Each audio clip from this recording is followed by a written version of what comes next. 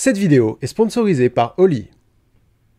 Ok, j'ai deux minutes pour vous présenter Oli en imitant 20 personnages de Disney. Mais tu n'as aucun talent pour l'imitation. Justement, c'est ça le défi, et c'est parti. Oli est une marque de boissons en poudre, de l'ice tea et des boissons énergisantes. Mais qu'est-ce qui démarque Oli des autres marques similaires? Eh bien d'abord, c'est plus écologique, puisqu'il n'y a pas de canette, juste un gros carton en, en carton. Dans les boissons Oli, il n'y a ni sucre, ni taurine, les arômes et les colorants sont naturels, donc c'est plus ça. Euh, Dans la gamme Ice Tea, il y a également des vitamines. C'est à la fois plus sain et meilleur pour l'environnement Et plus efficace aussi, puisque dans la gamme énergie, il y a de la New Caf. C'est une caféine cristallisée qui agit plus sur le long terme et qui permet donc d'éviter le crash post-caféine. Quant au goût, il y en a une grosse vingtaine. Ah ouais, je vais en découvrir quelques-uns en live sur Twitch tous les lundis de décembre. Mais si je ne sais pas quel goût me séduira le plus... Vous pouvez vous procurer le pack découverte Il existe en version gros échantillons ou petits échantillons. Et ils ont également des calendriers de l'avant. Et c'est juste des boissons en poudre. Tu arroses, tu shakes, tu bois, t'es content. Et en utilisant le lien dans la description ou le code promo LINKS5, Tu auras 5 euros de réduction. Donc tu fais des économies et tu dynamises ton mois de décembre avec Oli. Ça roule.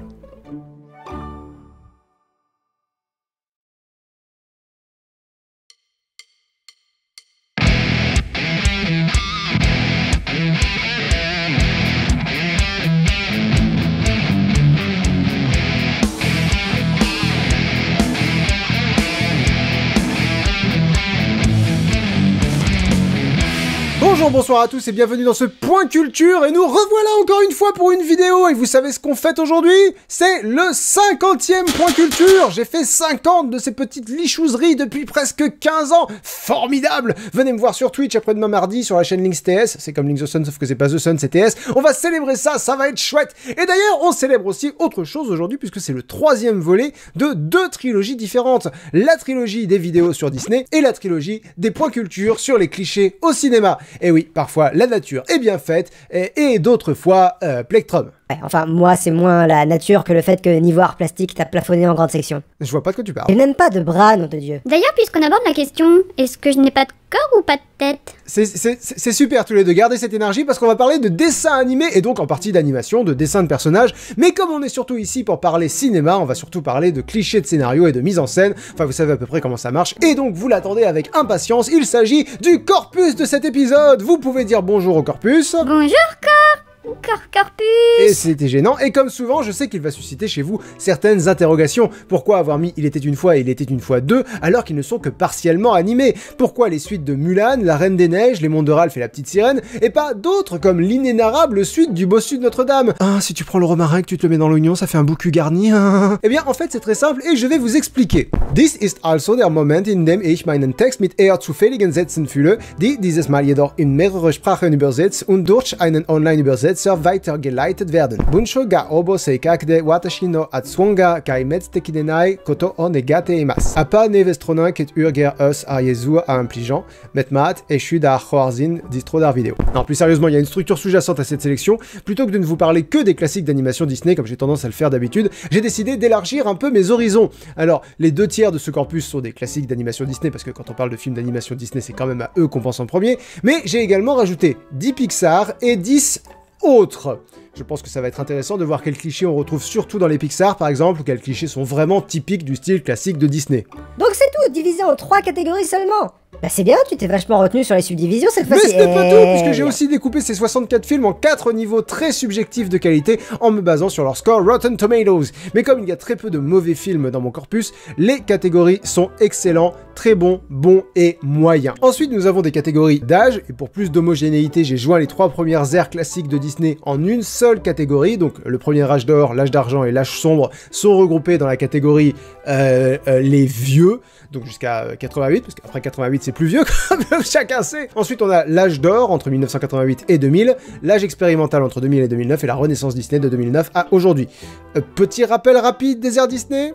Allez, Disney explose avec Blanche-Neige et les Sept Nains et connaît un premier âge d'or où il fixe plein de trucs, se baser sur des contes de fées, utiliser des chansons, donner des points de vue d'animaux, avoir des personnages secondaires rigolos, tout ça, ça date des toutes premières années. Il y a la période des guerres, que tout le monde préfère oublier, suivi de l'âge d'argent, typiquement l'âge de la magie Disney. Ensuite, Walt Disney euh, meurt, le, le, monsieur, le monsieur, hein, la, la- moustache de Gomez Adams, ça voilà, lui il meurt, et c'est l'âge sombre, moins de magie, des films globalement plus sinistres, plus déprimants, plus terre à terre.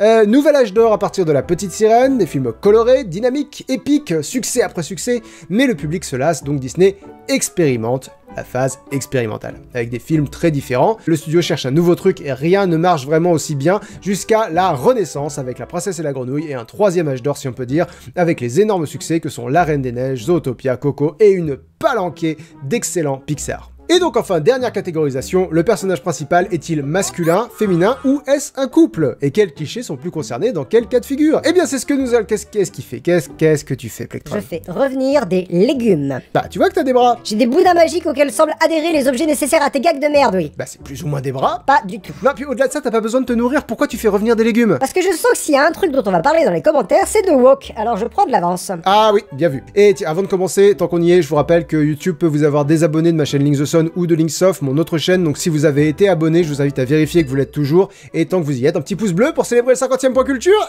c'est toujours cool Numéro 1, alors c'est pas un cliché propre au film d'animation Disney, mais c'est quelque chose que l'on retrouve dans un film du corpus sur deux, littéralement. Euh, quand c'est la merde, il pleut.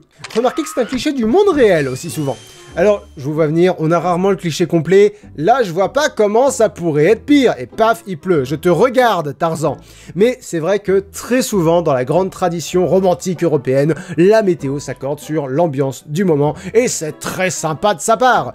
Cusco s'ouvre littéralement sur ce cliché, plus, oui, c'est bien moi, vous vous demandez sûrement comment j'en suis arrivé ici. On remarque une répartition très homogène de ce cliché, que ce soit en termes d'âge des films ou de qualité, avec un pic pour les films du deuxième âge d'or de Disney, mais vous allez voir, globalement, quand on pense cliché des films d'animation Disney, on pense beaucoup au deuxième âge d'or, ou aux âges d'argent et sombre, rarement aux autres. Mais parlant de météo, Disney a un cliché un peu plus à eux, il fait souvent un temps de merde pendant ou juste après la confrontation finale. Ça arrive dans 19 films du corpus, pensez euh, Le Roi Lion, Blanche-Neige, euh, Luca, Le Roi Lion 2, les petits anges de la météo s'arrangent bien pour que le décor colle à l'ambiance. Numéro 2, ok, si je vous dis euh, lieu, si je vous dis vert, si je vous dis à la fois féerique et plein de dangers, vous me dites Le roi Quoi? Ouais, c'est c'est- c'est- c'est pas loin, c'est pas loin, Oki. Je parlais de forêt. En effet, la forêt est un lieu systématiquement symbolique chez les Disney depuis le tout premier. Dans Blanche-Neige, on a une forêt menaçante, le lieu de tous les risques, mais aussi le lieu de la transformation. Pareil dans La Belle et la Bête, pareil dans Alice au Pays des Merveilles. D'ailleurs, on remarque que statistiquement, on a plus de chances d'avoir une forêt si le protagoniste est une protagoniste. Mais nous avons aussi des forêts bienveillantes, celle de Pocahontas, qui est la maison de grand-mère feuillage, celle de Robin des Bois, je veux dire, c'est carrément dans le titre. Euh, chez Pixar, la forêt est plus un élément de dissimulation, puisque c'est là qu'est caché le Dabou, oiseau mythique bien sûr, dans la haut. Et chez les Indestructibles, c'est le repère de syndrome que la forêt euh, occulte. Dans tous les cas, la forêt est un lieu de passage d'un état à un autre, et on n'a pas besoin qu'on nous le dise noir sur blanc dans la Reine des Neiges 2, Olaf de merde qui gâche toujours tout Une forêt enchantée est ce qu'on appelle un lieu de transformation. Et ignorez-vous qu'en tant que protagoniste, nous évoluons actuellement au début du second acte qui devrait nous amener à rencontrer les éléments de l'histoire secondaire, probablement des nouveaux personnages et dans les fermes. Ta gueule, Olaf, ta gueule Numéro 3, le héros est un underdog. C'est quoi un underdog? C'est un mélange entre un hamburger et un hot dog? Non, underdog, c'est un terme qui ne se traduit pas facilement en français, mais disons que le héros n'a pas tiré les bonnes cartes au début de l'histoire. Il commence dans une situation à son désavantage. C'est le cas de plus de 55% des protagonistes, euh, très bien répartis, c'est un trope que Disney aime bien, mais pas seulement, ça permet une identification plus simple. D'ailleurs, quand le héros n'est pas un underdog, il en a souvent un à ses côtés. En termes d'exemple, ça va être Moustique dans Merlin l'Enchanteur, ça va être Wally qui est un robot assez obsolète dans le monde dans lequel il évolue, euh, Dumbo Qui naît avec une particularité physique qui handicape beaucoup sa vie sociale depuis le berceau. Faut dire que si ta vie sociale ce sont des clowns alcooliques et ces immenses connasses, peut-être t'es mieux de pas avoir de vie sociale. Évidemment Quasimodo, euh, évidemment Cendrillon, et comme je disais, si t'es pas un underdog toi-même, tu vas être copain avec l'un d'entre eux, Sully avec Bob Razowski, Kira avec Kovu, Duchesse avec O'Malley, etc. Ce qui est un comble d'ailleurs d'être un underdog pour un aristocrate. Est-ce que les aristogos sont des underchats? Est-ce que le monde est prêt à ce genre de questions? Tu vas fermer ta gueule Jamais Numéro 4 Quelles sont les valeurs que Disney essaye de communiquer? La gentillesse Oui, c'est vrai, c'est vrai, c'est vrai. Le partage Oui, très juste, tout à fait exact. La confiance Et perdu T'es con T'as rien suivi En fait, si, complètement, surtout récemment. Mais là, où je veux en venir, c'est que t'as pas intérêt à faire confiance à qui que ce soit si t'es un personnage d'animation Disney. Dans presque 60% des films du corpus, un gentil va faire confiance à un méchant. Parce que les gentils sont, sont, très cons. Hein. Chez Disney, faut aussi faut dire ce qui est. Et regardez, bizarrement, c'est plutôt un cliché de la phase expérimentale de Disney. Et ça se comprend un peu parce que c'est un élément de scénario qui est très facile à utiliser. Là, pour le coup, on est bien dans le cliché. Que ce soit Monsieur Indestructible qui fait confiance à Mirage, bon plan, débile. Milo qui fait confiance à des mercenaires, un brillant. Mais je vais pas faire comme si on n'avait pas des héros trop naïfs dans plein de très très bons Disney. Euh, Simba qui fait confiance à Scar, c'est un enfant quand même. Euh, Gisèle qui fait confiance à une vieille inconnue qui l'invite à regarder dans un puits magique. C'est littéralement par une confiance trahie que se rencontrent Jody et Nick Wilde dans Zootopie. Euh, Maui qui veut récupérer son hameçon et qui n'a aucune intention de ramener la pierre de Tefiti. Si Disney nous a appris deux trucs, c'est 1. Ne jamais faire confiance à personne. Et 2. Épouser quelqu'un le jour même où tu le rencontres. Comment je suis censé gérer ces signaux? Disney, exactement. Numéro 5. Et parlant de ça, j'avais deux clichés dans ma longue liste euh, à vérifier. Euh, parce que niveau méthodologie, j'ai compilé une liste de 70 clichés qu'il y aurait prétendument dans les Disney et je les ai cherchés dans mon corpus. Et dans ma liste, j'avais le protagoniste vit une histoire d'amour et le protagoniste ne vit pas d'histoire d'amour. Devinez lequel des deux a gagné, vous avez quelques secondes. En fait, ça s'explique assez simplement. Le héros ou l'héroïne célibataire, c'est un cliché plus récent, alors que dans ses premières décennies, et particulièrement dans le deuxième âge d'or, euh, Disney était obsédé par les histoires d'amour. Et donc du coup, oui, euh, c'est le héros vit une histoire d'amour qui gagne. Pas de grand chose, mais quand même. Regardez, j'ai 12 films du deuxième âge d'or dans mon corpus. Euh, Mulan avec Shang, Aladdin avec Jasmine, Belle avec la Bête, Hercule, Megara, Ariel, Eric, Tarzan, Jane, Pocahontas, Mel Gibson, Woody, même Woody avec la bergère, c'est même pas le sujet du film, Jack Skellington avec Sally, Max avec Roxanne, Kira avec Kovu, et Quasimodo, tu vas te faire foutre Donc ça fait 11, 11 films sur 12 où le héros vit une histoire d'amour, même quand ça sert à rien. Et dans 29 films du corpus, nous avons l'indémodable amour au premier regard. Ah, bien sûr Bon, ça fait que 44% des films, donc c'est pas tant que ça. Je dis indémodable, c'est un des clichés qui se casse le plus clairement la gueule au fur et à mesure du temps, donc si, démodable. Et quelque part, on va dire, euh, tant mieux. Dans les films modernes, quand il y a un coup de foudre au premier regard, généralement c'est pour plaisanter, souvent un homme un peu simplé qui tombe sous le charme d'une femme plus autoritaire que lui, comme dans Ratatouille ou dans Les Mondes de Ralph, par exemple.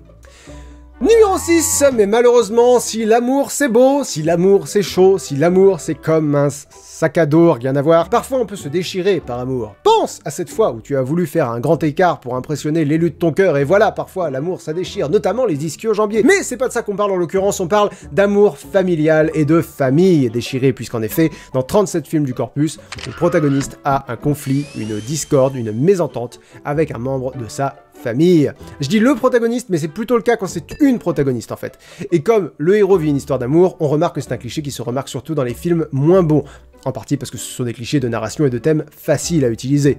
Euh, dans Mulan 2, Mulan est en conflit avec Shang. Dans Pocahontas, c'est avec son père. Euh, dans Dingo et Max, tout est dans le titre. Et puis il y a les cas où c'est carrément le sujet du film, comme Encanto ou à peu près Les Indestructibles. Des familles qui doivent apprendre à vivre ensemble. Parce qu'il faut pas oublier que Disney s'adresse d'abord aux enfants et que c'est bien de leur apprendre que c'est normal d'avoir des soucis avec sa famille, mais que tous les soucis peuvent se régler.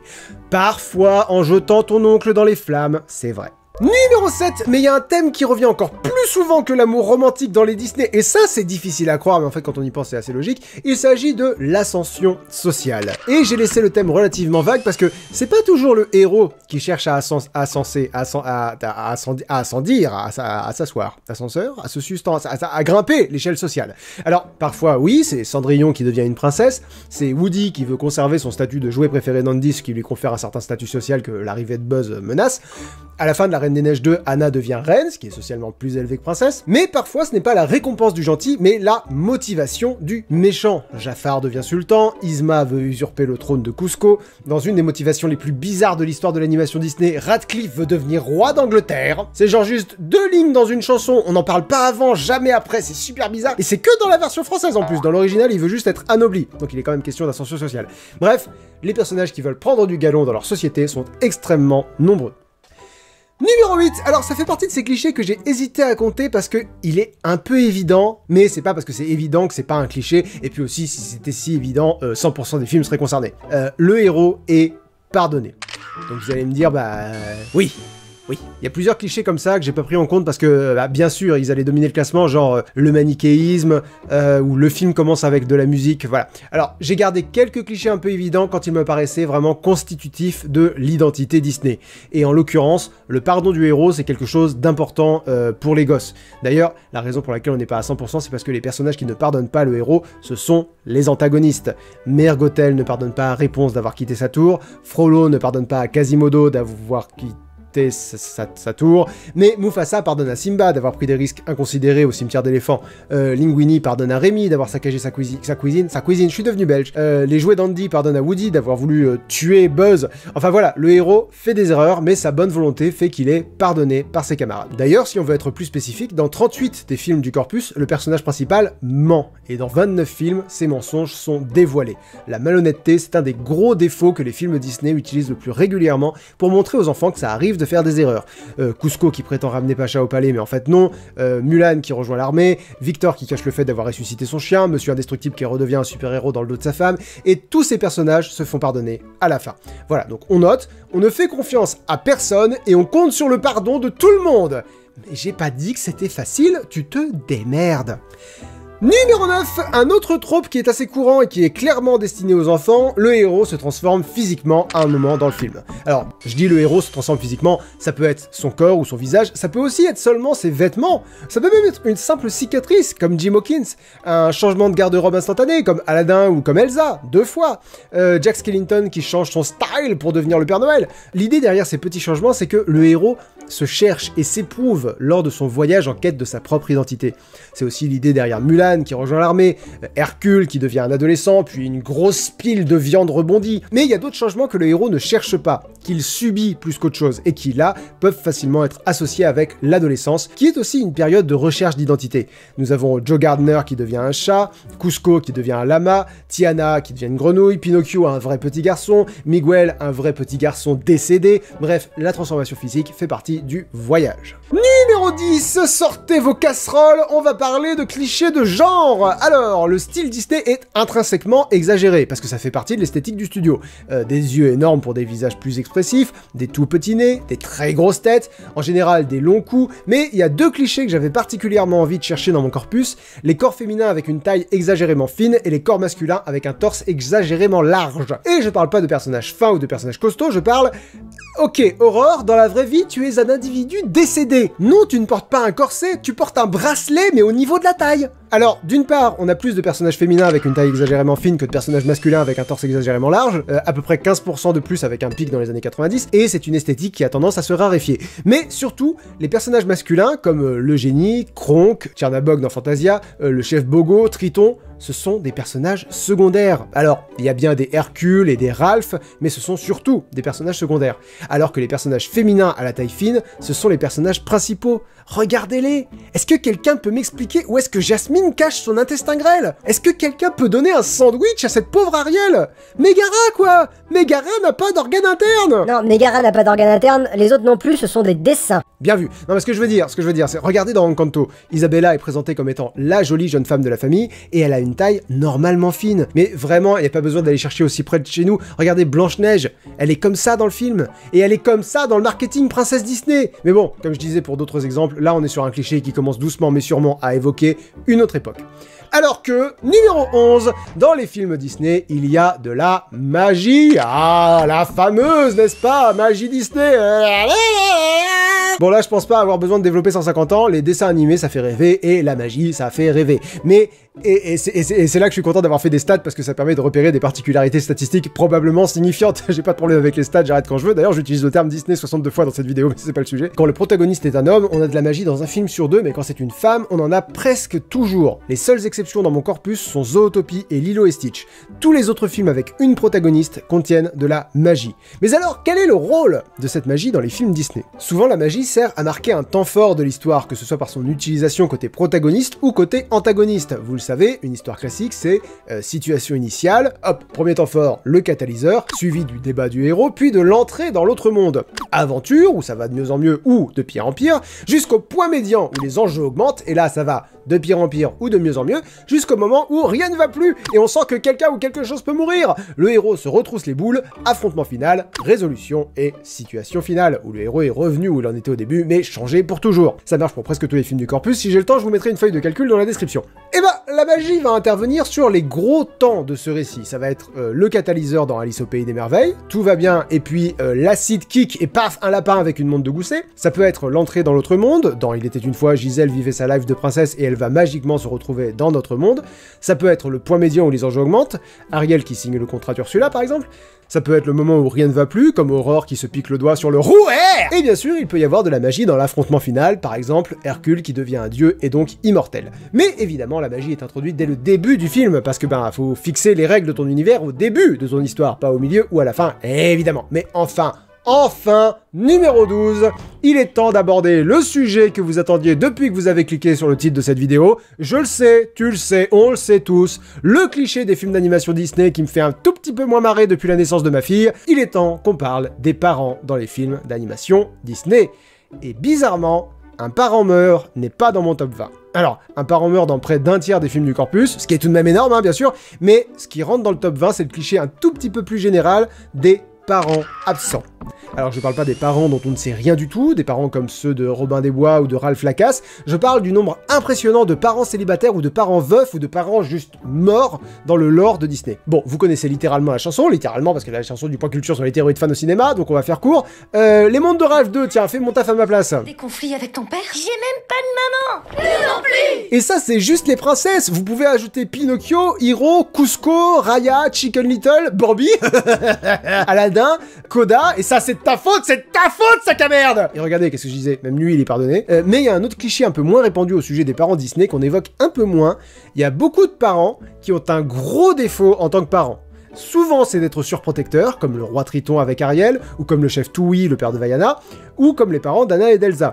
Euh, parfois, ils sont trop rigides sur les règles, comme le sultan. Euh, parfois, c'est carrément l'antagoniste du film, comme dans Blanche-Neige, Cendrillon, La Belle au Bois dormant. Et parfois, c'est la pire des taches de merde au fond d'un slip que la Terre ait jamais porté. Buck Cluck Je vous jure, j'ai envie de faire une parenthèse sur les papas Disney rangés du pire au meilleur, juste pour pouvoir le foutre dernier. Sac à merde. Numéro 13, j'espère que vous avez pas rangé vos casseroles parce qu'on va parler de Demoiselle en détresse. Là encore, c'est un cliché qui a tendance à vieillir. L'époque de la princesse qui attend sagement que son prince charmant vienne la sortir de la merde est de plus en plus petite dans le rétroviseur. Et d'ailleurs, fun fact, la popularisation de l'appellation prince charmant vient de Disney. Alors, pour le fun de l'exercice, j'ai également compté les occurrences de damoiseaux en détresse du coup, pour comparer. Euh, globalement, les fois où un personnage masculin est menacé par un danger imminent et insurmontable et qu'un personnage féminin lui vient en aide. Eh ben, regardez comme c'est chouette. Alors, les demoiselles en détresse sont relativement stables, mais les damoiseaux en détresse sont en nette augmentation dans la période post-2009, ce qui veut dire qu'on a de plus en plus de personnages féminins qui sauvent leurs homologues masculins. Flynn Rider est sur le point de se noyer, Réponse le sauve, Maui est sur le point de se faire bouffer, Vaiana le sauve, Ralph est sur le point de tomber dans un volcan en éruption, Vanellope le sauve, bref, c'est chouette de constater qu'on trouve un équilibre à ce niveau-là. D'ailleurs, j'en profite parce que je participe à Movember et que normalement cette vidéo sortira en novembre, on croise les doigts. Movember est un mouvement qui invite les hommes à se laisser pousser la moustache pendant le mois de novembre, et je suis donc euh, très content que ce soit un point culture ce mois-ci et pas une vidéo où on voit ma tête, mais c'est pas pour faire joli, et tant mieux parce que ce serait un échec Euh, C'est pour sensibiliser au cancer des testicules et de la prostate, mais aussi pour parler de santé mentale masculine et de prévention du suicide chez les hommes. Alors voilà, on va profiter de cette entrée pour apporter un peu de positivité dans les commentaires. Messieurs, vous avez le droit aussi d'être en détresse. On a le droit d'être vulnérable, on a le droit d'avoir besoin d'aide, et surtout si vous allez très mal, n'hésitez pas à en parler à quelqu'un. Le site movember.com donne pas mal de liens, et sinon vous pouvez me suivre sur Twitch. Je fais au moins 4 lives par semaine devant une centaine de viewers et vieweuses. Pas mal d'entre eux et elles disent que ça fait du bien, que ça change des idées, donc voilà. Euh, faisons en sorte que cette horreur vaille le coup. Euh, prenez soin de vous. Tiens, bah, laissez un commentaire gentil si vous voulez. Euh, Soutenons-nous tous ensemble. Voilà, merveilleux. Bon, il faut que je fasse une blague maintenant pour redémarrer la machine. Vous savez comment on appelle Olaf en italien? On l'appelle pas parce qu'on veut pas qu'il vienne parce que c'est une merde. Voilà, ça ira. Numéro 14 Alors là, je vais un peu tricher parce que c'est une entrée dans laquelle je vais parler de 8 clichés différents. Alors, l'entrée officielle de ce numéro 14, c'est « Le méchant est évident ». Donc c'est là qu'on va parler de manichéisme et de tous ces personnages qui sont euh, dessinés comme ça, comme dirait Jessica Rabbit. Le méchant est évident dans plus des deux tiers du corpus et ça tient à un certain nombre d'autres clichés. Euh, dans 43 films, il a un rire diabolique, pensez Jafar ou Oogie Boogie. Dans 36 films, le méchant s'habille de couleur sombre, comme Sid ou comme Syndrome. Dans un peu moins de la moitié du corpus, le méchant n'a carrément aucun trait rédempteur, c'est-à-dire qu'on est sur des méchants qui n'existent que pour faire le mal. Là, on peut partir sur Shan Yu qui n'a aucune raison d'attaquer la Chine, ou Gaston dont l'obsession pour Belle n'a aucune justification à part sa propre intolérance à la frustration. D'ailleurs, dans à peu près autant de films, le méchant est remarqué très vite parce qu'il est moche alors que les gentils sont beaux. Isma, John Silver, Ursula, vous les connaissez. Un autre cliché qui m'a fait sourire et qui se vérifie pas mal, dans 60% des films du corpus, si l'antagoniste est un homme, il a une position de pouvoir où il est riche, et si c'est une femme, elle a des pouvoirs magiques. C'est dingue la fréquence à laquelle ça se vérifie. Regardez, dans le prochain Disney, c'est qui le méchant? C'est le roi. Bam Enfin voilà, on a souvent des antagonistes très codés chez Disney, et c'est pas de chance pour eux, parce que un autre cliché, c'est que dans 24 films du corpus, l'antagoniste meurt de façon violente et spectaculaire. Et dans les trois quarts d'ailleurs de ces morts, c'est pas la faute du héros directement. Mais enfin là encore, vous connaissez la chanson. Ah bah non, vous la connaissez pas. Pourquoi? Parce que je l'ai pas encore chantée. Parce qu'il n'y a pas de raison qu'il y ait que les parents qui passent chez Disney. Reprenons notre petite leçon, mais en parlant cette fois des enfants. Scar a trahi son frère Mufasa et il va donc finir en méchoui. Et tentant sa chance une fois de trop, Oogie Boogie va perdre ses spaghettis. Otto finit par se faire débrancher sans pitié comme son papa le 9000. Morgana va perdre le trident de Triton parce qu'elle est complètement débile. Le roi Candy se la joue turbo et meurt dans un volcan en éruption. Il a voulu affronter la bête et du coup à la fin le plus mort c'est Gaston. Charles Moons voulait gagner le respect de ses pairs mais il va tomber de haut. Et Syndrome tient à porter une cape et va donc lui finir en Carpaccio. Même le dieu Hadès finit de façon très à propos dans le gros Styx de ses morts. Le T-Rex dans Fantasia va mourir de faim comme l'ont fait tous les dinosaures. Le chapeau d'or il se décède au moment où en fait il a jamais existé. Le clochard est bien gentil, mais le rat c'est lui qui finit quand même par le bouffer. Il voulait envahir la Chine, mais Shanyu va décéder dans une explosion. Oh non Et le coup brisé, l'ombre de Clayton a traumatisé toute une génération. Mort dès la grosse rumeur broyée sous une poche, c'est comme ça qu'il est mort dans sa vie. Et Ursula, devenue reine des océans, va finir en takoyaki Le docteur Facilier se fait trahir par ses amis qui viennent de l'au-delà. Le seigneur des ténèbres se fait aspirer par son chaudron et devient un petit tas. Les trois fées ont servi à rien pendant tout le film, mais à la fin, Eda tué mal. Les Fick et Bill Sykes réussira à prendre un train, oui, mais au sens littéral. Fini sur cette petite nécrologie avec le cliché le plus commun. Celles et ceux qui sont morts en tombant, comme par exemple la reine Narissa, Mergotel et Zira, Frollo, Tiberius, Ratigan et la belle-mère dans Blanche-Neige et les soldats Numéro 15 Dans la liste des personnages archétypaux de Disney, nous avons le héros courageux, l'héroïne qui est une princesse, le méchant qui veut le pouvoir, la méchante qui veut le pouvoir, le deutéragoniste fou d'amour pour notre protagoniste, mais il y a aussi côté gentil et côté méchant, les sidekicks, les alliés, les opportunités de chansons rigolotes et de merchandising juteux, et dans 45 des films du corpus, donc plus des deux tiers, nous avons des sidekicks qui sont des animaux. D'ailleurs, on a 24 films avec des princesses, celles-ci parlent aux animaux dans 19 d'entre eux. Les princesses sont délirantes chez Disney. De Blanche-Neige à Raya, en passant par Ariel, Mulan ou Vaiana, elles parlent toutes à des animaux. Au point que Maui se permet cette petite blagounette. Si tu portes une robe et que tu as un animal de compagnie, t'es une princesse. Alors, euh, si je peux me permettre, ça, ça ne concerne que la moitié des princesses de ce, de ce corpus. Et puis certains personnages ont une robe et un animal de compagnie sans être une princesse. Euh, regardez euh, Jafar. Tiens, bah d'ailleurs, revenons à notre propos, les sidekicks animaux. Comme je disais, ça peut être des deux côtés de l'alignement moral. Euh, certes Meiko, certes Abu, certes Tuk Tuk, certes Jack et Gus Gus, mais d'un autre côté, Yago, Flotsam et Jetsam, Persifleur, Alpha. Enfin voilà, contrairement à ce que Zootopie essaye de nous faire croire, certains animaux sont naturellement de sale race. Et d'ailleurs, vous remarquerez que là encore, leur aspect en dit long sur leur alignement. Dans là-haut, le chien méchant c'est Alpha et le chien gentil c'est Doug. D'ailleurs, je crois que la, terminologie précise, si je, si je me permettre d'être précis sur mon, vocabulaire, c'est le vilain chien et le bon chien. C'est qui le bon chien? Mais c'était qui qui qui qui était le bon chien chien? Numéro 16, et qui dit sidekick animalier dit souvent anthropomorphisme, qui est notre cliché suivant, puisqu'on le retrouve précisément dans les trois quarts du corpus. L'anthropomorphisme, c'est le fait de donner des traits humains à des éléments qui ne le sont pas. Alors ça peut être des animaux qui parlent, par exemple, comme dans plus de la moitié de notre corpus, mais ça peut aussi être des objets avec des traits humains, comme dans Fantasia ou dans La Belle et la Bête, et évidemment, les animaux n'ont pas besoin de parler pour être Pensez Meiko dans Pocahontas, qui a un comportement complètement humain, ou même le tapis dans Aladdin, qui ne parle pas mais qui est anthropomorphisé.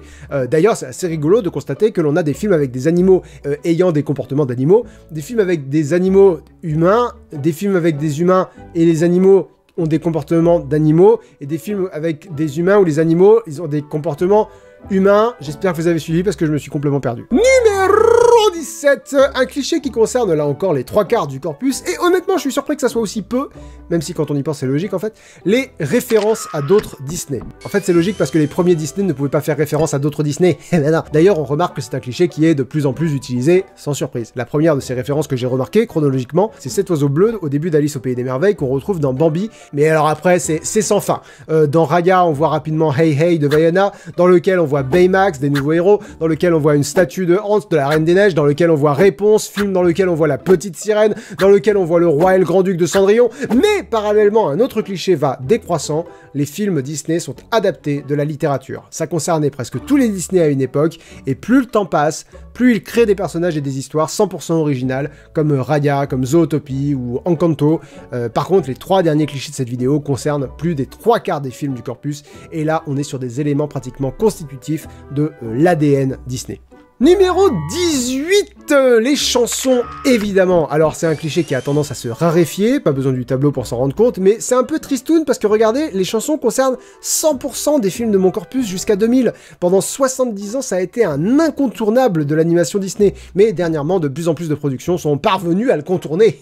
en grande partie, il faut bien dire ce qui est avec l'avènement de Pixar. Et c'est délicat parce que d'un côté, je comprends un peu cette fatigue des chansons Disney, au point d'ailleurs qu'ils s'en moquent eux-mêmes dans Vaiana. Si tu te mets à chanter, je te préviens, je te tape. Mais d'un autre côté, tu vas sur la chaîne YouTube officielle Disney FR, 44 des 50 vidéos les plus populaires, c'est des chansons. En fait, j'ai l'impression que les chansons Disney souffrent du double effet, elles sont trop cool, mais peut-être il y en a trop tout le temps partout maintenant. En fait, il y en a tellement trop qu'elles ont leurs propres clichés. Alors là, je me suis pas amusé à faire des stats, donc je sais pas dans quelle mesure elles apparaissent ou non, mais donc on a les fameuses chansons euh, Je veux, les chansons où le héros nous parle de ce qu'il manque dans sa vie. Ça va être Où est la vraie vie dans Réponse, ça va être Le monde qui est le mien dans Hercule, Partir là-bas évidemment dans La Petite Sirène. Euh, on a la chanson du méchant, Soyez prête par Scar, Pauvrement Perdition par Ursula. On a les chansons d'amour, Bella Notée dans La Belle et le Clochard, C'est ça l'amour dans Cendrillon. Enfin voilà, c'est un cliché qu'on pourrait encore sous-catégoriser, puisqu'il existe, d'après ce post sur conséquence.net, plus de 295 chansons Disney Ça fait vraiment beaucoup de chansons Disney Numéro 19 Et pourtant celui-là, techniquement, c'est le cliché qu'on retrouve le plus souvent dans tout le corpus, 55 films sur les 64, mais vous allez comprendre pourquoi je le mets en numéro 19 quand on parlera du numéro 20. Une scène où les amis se séparent. J'irai plus vite à vous citer les films où ça n'arrive pas. Dans plus de 85% de ces films, on a une scène où des amis ou des amants, enfin voilà, des personnages qui sont du bon côté de la force, se déchirent pour une raison ou une autre. Et très souvent, c'est parce que le héros ou l'héroïne a fait quelque chose de mal, entre guillemets, et que ses amis lui en veulent. Comme quand Aladdin, non je déconne, je déconne, je déconne. Mais sérieusement, Aladdin envoie chier le génie, Mirabelle quitte la maison, euh, Nick Wilde abandonne Judy, euh, Linguini se débarrasse de Rémi, Bing bong Kovu se fait bannir de la Terre des Lions, Luca trahit honteusement Alberto. En fait, c'est devenu tellement un cliché que je sais pas vous, mais moi quand je le vois, je peux plus être émotionnellement investi parce que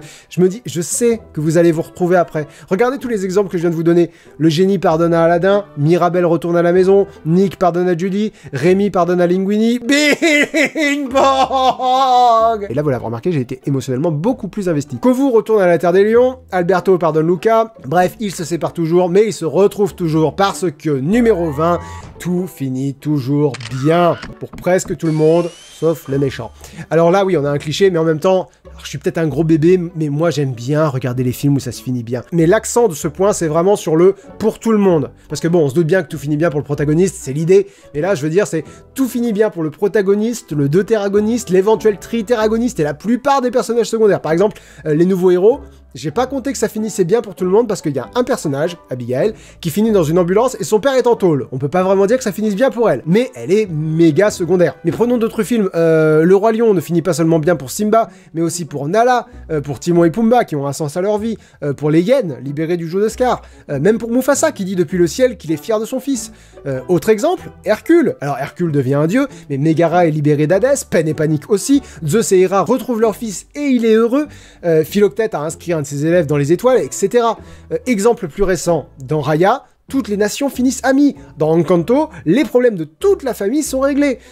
Côté Pixar, à la fin de Coco, l'arrière-grand-mère retrouve la mémoire, toute la famille peut jouer de la musique, la famille Rivera se souvient d'Hector, bref, tout finit toujours très bien pour tout le monde dans un dessin animé Disney, exactement comme dans cette vidéo, puisque tu vas t'abonner à cette chaîne, mettre un pouce bleu et laisser un commentaire gentil, parce qu'en plus c'est Movember, alors t'as envie d'être gentil et c'est formidable. Merci beaucoup à toi Et merci à tous d'avoir regardé ce point culture. On se donne rendez-vous mardi prochain sur ma chaîne Twitch LinksTS pour en parler en détail, et on se donne également rendez-vous le mois prochain pour ma prochaine vidéo, une parenthèse sur les papas chez Disney, rangés du pire au meilleur. Joyeux Noël, tête de nœud. Un remerciement particulier à mes Plectrion de niveau 3 et plus qui me soutiennent sur Patreon, notamment Aiko La Folle, Antoine Choquet Giger, Sexiliar GZ, Eris Porana, Emma Ben Naïm, Faline Baskerville, Guillaume Oliza, Picayolo, Poséfique et le monde de Titi. N'hésitez pas à consulter le lien dans la description si jamais ça vous intéresse, et d'ici à ce qu'on se revoit, je vous souhaite à toutes et tous une très bonne fin de journée. Ciao